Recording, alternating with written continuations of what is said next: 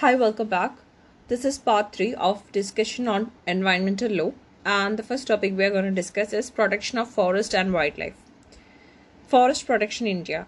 Attempts have been made in India from very ancient time for the protection of forest. According to Kautilya's Arthashastra, forests were classified into five categories for protection.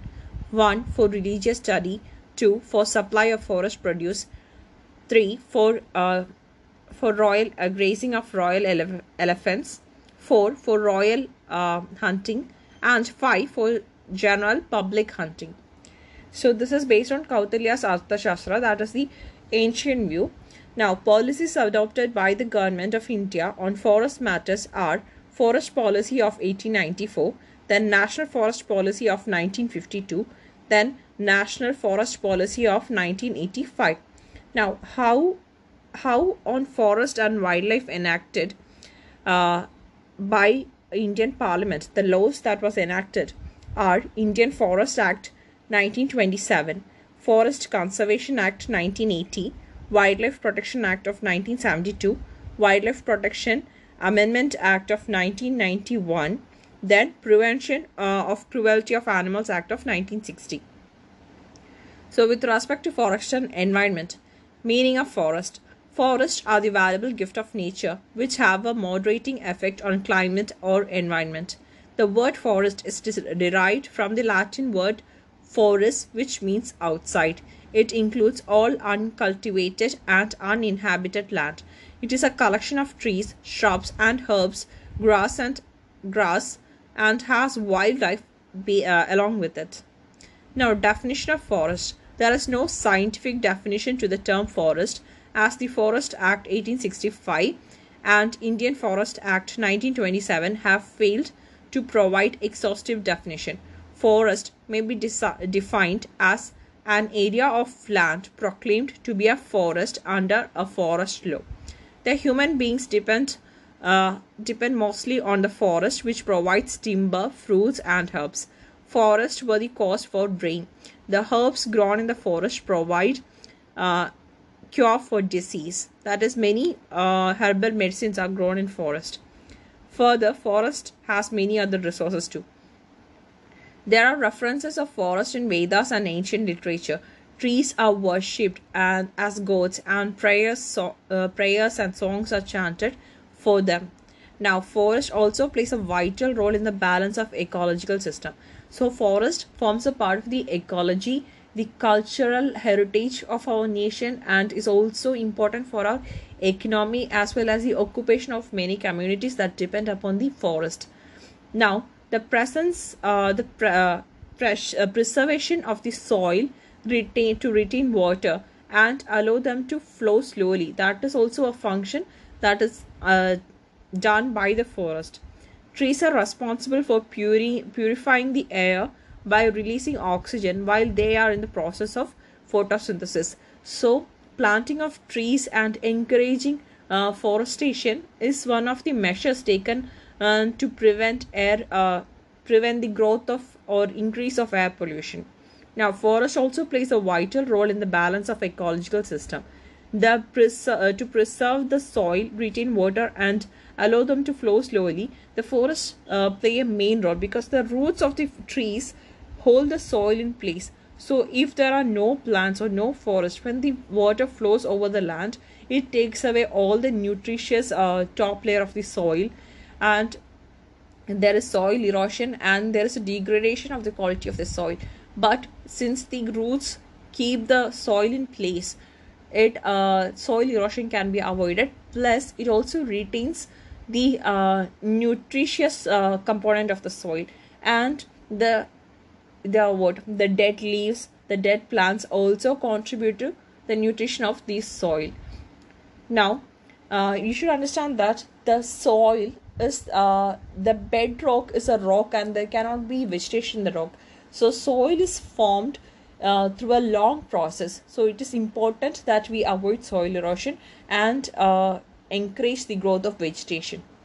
Because formation of new soil uh, soil area or layer is takes years that is a long long long years now Trees are responsible for purifying air by releasing oxygen while they are in the process of photosynthesis. The forest also control floods. They keep the air cool and clean. They provide shades. Now, forests have got industrial value also, like gums, resins, stands, charcoal, rubber, bidi leaves, etc., which are very useful for medicine.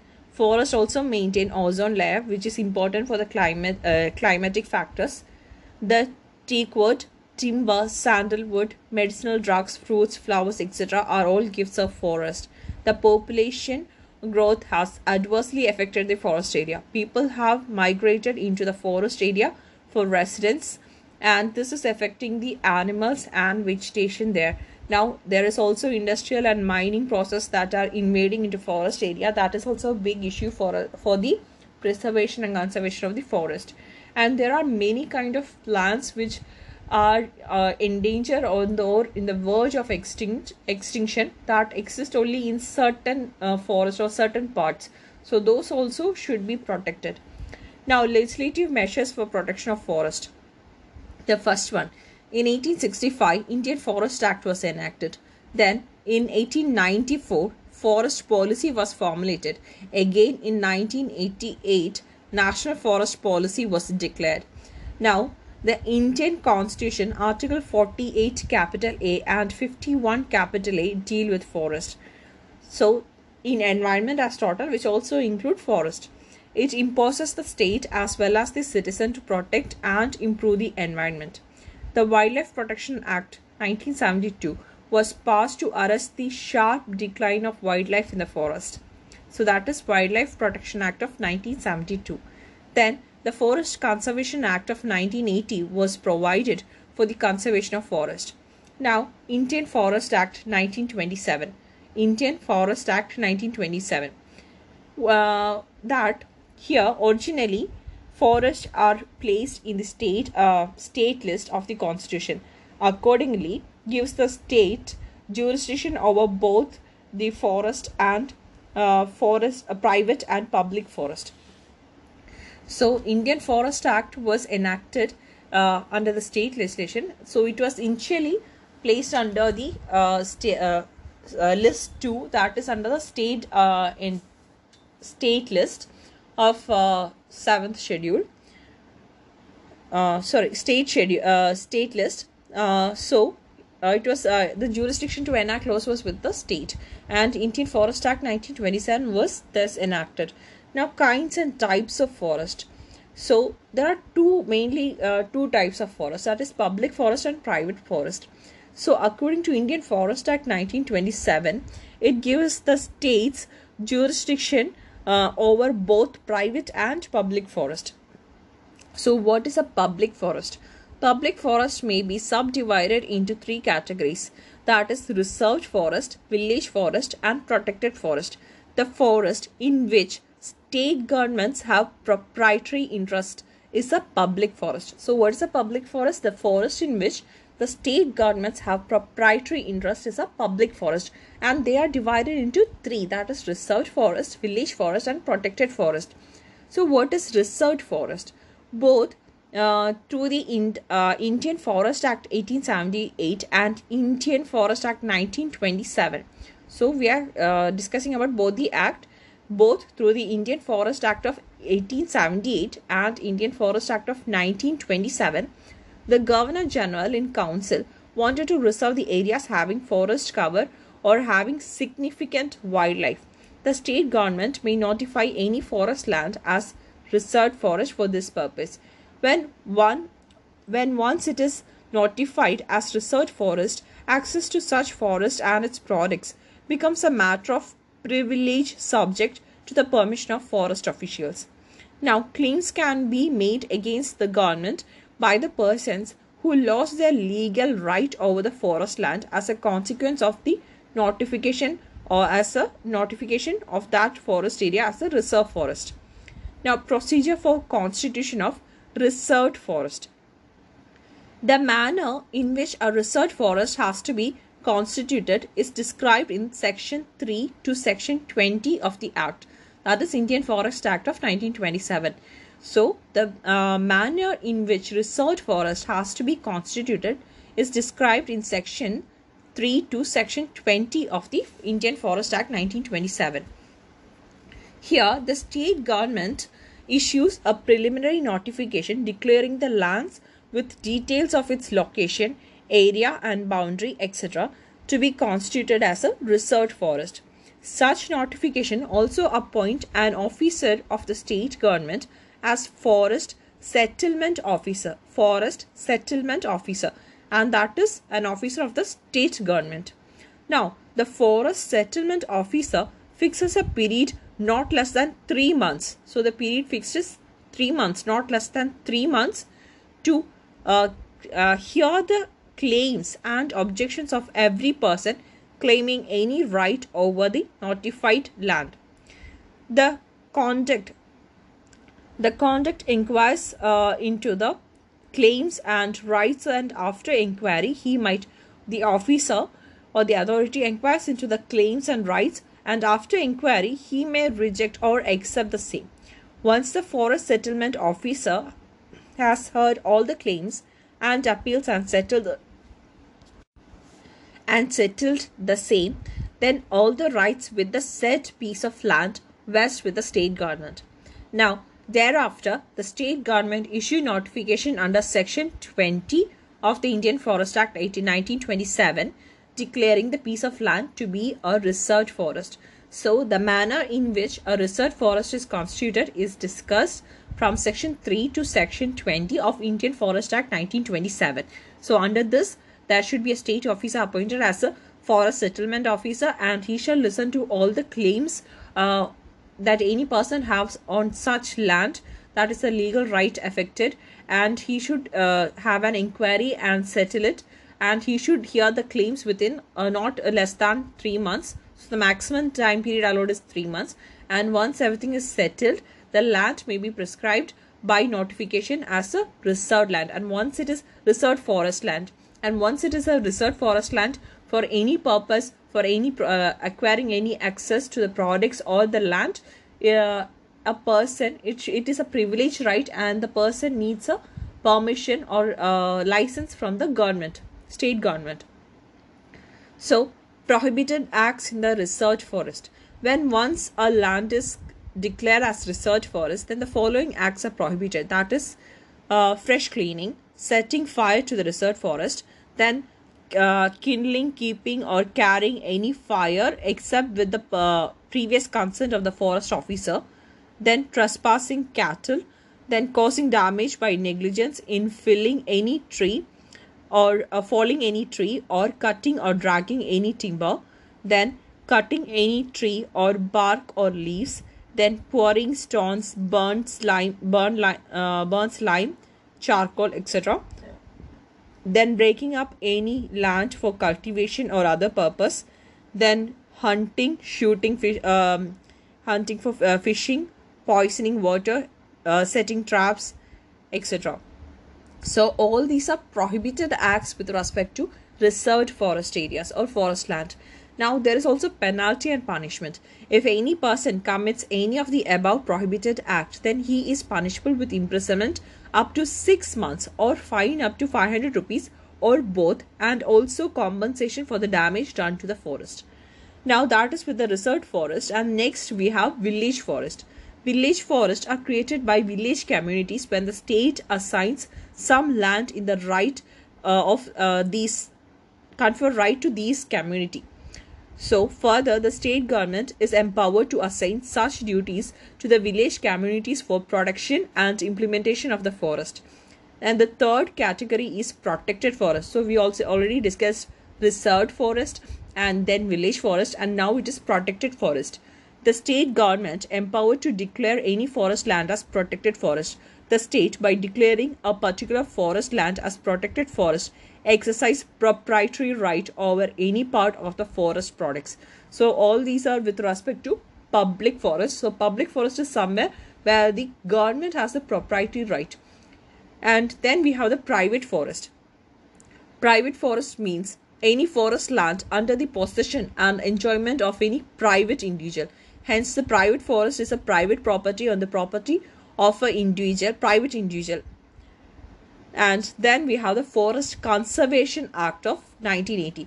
So, so far we discussed about the Indian Forest Act of 1927 and it is a state legislation uh, since forest is uh, comes under state list and now we are going to discuss of the Forest Conservation Act that is of 1980. The main object of the act is to provide for the conservation of the forest and for matters con- uh, connected therewith or ancillary to or in- incidental thereto.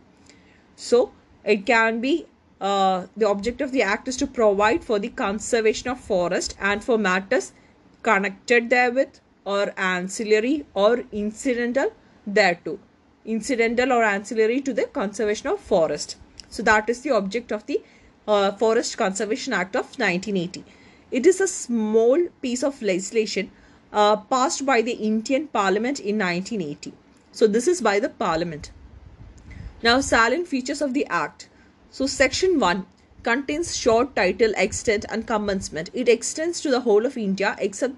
Uh, so, the exception on the Jammu and Kashmir is taken away right now.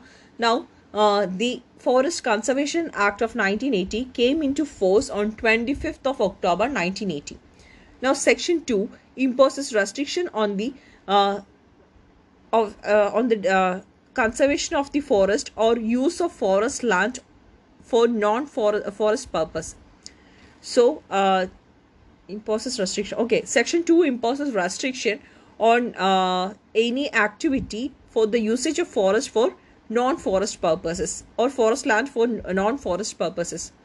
Now, section 3 is the constitution of advisory committee. So, this is an important section of the Indian uh, of the Forest Conservation Act of 1980 that is section 3 constitution of advisory committee Section 3 of the Act empowers the central government to constitute a committee consisting of such member of persons as it may deem fit to advise the government with regard to 1. The grant of approval under Section 2 and 2.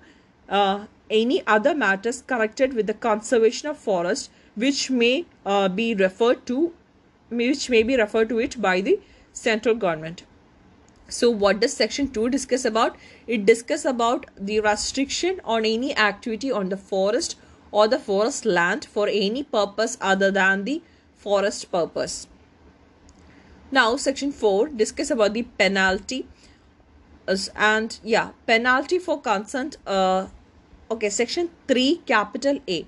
So section 3 discuss about the constitution of advisory committee and section 3 capital a discuss uh, of the act uh, discuss about the penalty for conservation of the like penalty for the default in conservation of the provisions or compliance default in the compliance of the provisions of the act penalty for the default in the uh, compliance with the provisions of the act is discussed in section 3 capital a. According to section 3 capital a of the act whatever contravenes or abets contravention of any provisions of section 2 of the act shall be punishable with simple imprisonment for a period which may extend to 15 days. 1 5 15 days.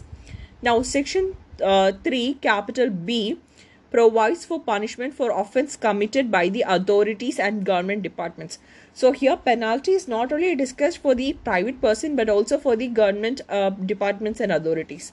Section 3 discuss about the person who uh, contravenes the provisions of section 2 such person will be uh, having a liability of imprisonment up to 15 days. And section 3 capital b discuss about the punishment for the uh, authorities and uh, government departments if they have any default in compliance with the session.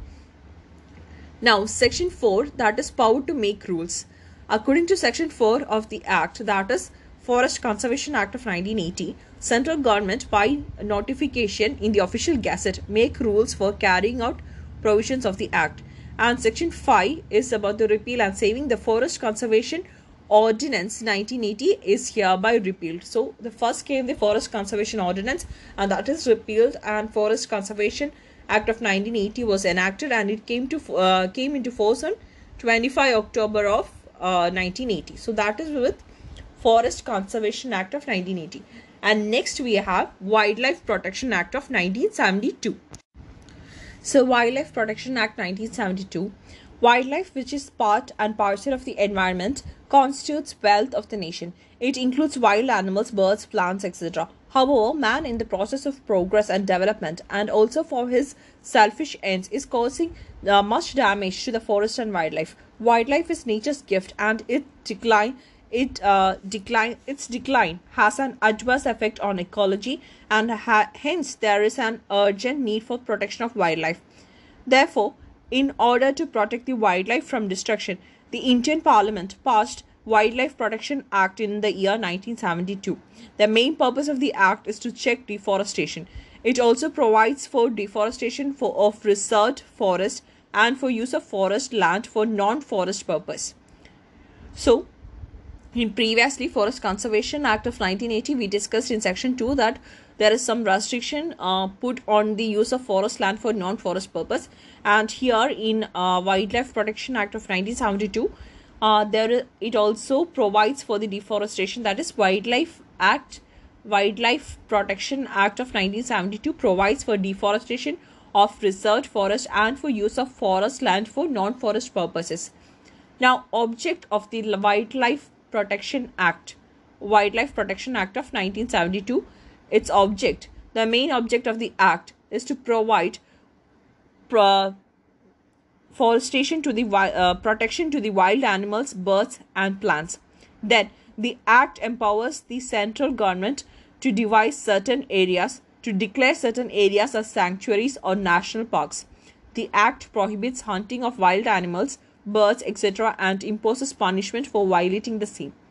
Now, Wildlife Advisory Advisory Board under section 6 of uh, the state government shall constitute a wildlife advisory board so it is up to the state government uh, under section 6 to constitute a wildlife advisory board it shall consist of the following members 1 the minister in charge of forest in the state 2 two members of state legislature the third secretary to the state government the fourth the forest officer of the state forest department 5 chief wildlife warden that is ex officio then 6 officers of the state government not exceeding 5 so this is the composition of the wildlife advisory board that the state shall constitute under section 6 of the wildlife protection act of 1972 now such are the officers and non officers not exceeding 15 is also included in the group the central government can appoint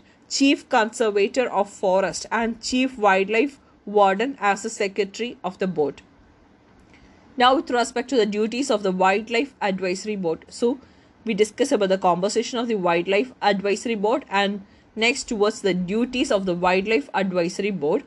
One, to select areas declared as national parks, sanctuaries, and closed areas and administration thereof. Two, formulation of the policy for the protection and conservation of the wildlife. 3. To take measures for the protection of the uh, tribals of the forest. Now, such are the duties as it also includes such are the duties as may be referred by the state government. The board shall meet at least twice a year as such place as the central at such place as the central government may direct now, with respect to Section 9, Section 9 prohibits hunting of any wild animals specified in Schedule 1, 2, 3, and 4. Now, hunting of wild animals. As we discussed, Section 9 provides some prohibition for hunting of uh, certain animals, certain animals specified in these schedules 1, 2, 3, and 4. In the following cases, hunting wild animals uh, can be permitted uh, to be permitted. That is one, the chief wildlife warden may, if he is satisfied that any wild animal has become dangerous to human life or is so uh, disabled or deceased as may be beyond recovery by order in writing, permit to hunt such animal. Now, second scenario killing or wounding in good faith of an animal in defense of oneself or of other person and the third scenario if the warden is satisfied that any wild animal specified in schedule 2 3 and 4 has become dangerous to property including standing crops permit to hunt any such animals so this is the only or three scenarios where hunting of wild animals is permitted under the Act. Now, Section 12 of the Act empowers the warden to grant a permit to hunt for the purpose of education and scientific research. So, that is there, Section 12. Now, any person who hunts any wild animal shall be punishable with imprisonment for a term which may extend uh, which may extend to with a uh, which may the fine which may extend to 25000 or with uh, with fine or both. So the punishment uh, who any person who hunts the punishment may extend up to 3 years of imprisonment or with fine of 25000 or with both. So next is restriction on hunting. So we discussed section 9 and section 12 where some uh, certain animals were allowed to wild animals were allowed uh, permitted to hunt and uh, restriction on hunting here under section 17 of the act that is wildlife protection act of 1972 wildlife protection act of 1972 now here section 17 of the act provides the following restriction for hunting. 1 no person shall hunt any wild animal by means of mechanically propelled vehicle or by aircraft. 2 no person shall hunt any wild animal with chemicals, explosive, net, poison, poisoned weapon, traps, except a wild animal uh, trapping with a uh, trapping license. Now the third, no person for the purpose of hunting set fire to any vegetation. 4. No person shall use any artificial light for the purpose of hunting except specially authorized to do so under a license. Now, the fifth one no person shall hunt any wild animal during the house of night that is between sunset and sunrise, except when specially authorized to do so. Now, the sixth one no person shall hunt any wild animal on a drinking place or on bath except water, bo- water birds. Now, the seventh one no person shall hunt any wild animal on any land not owned, owned by the government without the consent of the owner or the lawful occupier of such land. Now, that is with the restriction on hunting that is discussed under Section 17 of Wildlife Protection Act of 1972.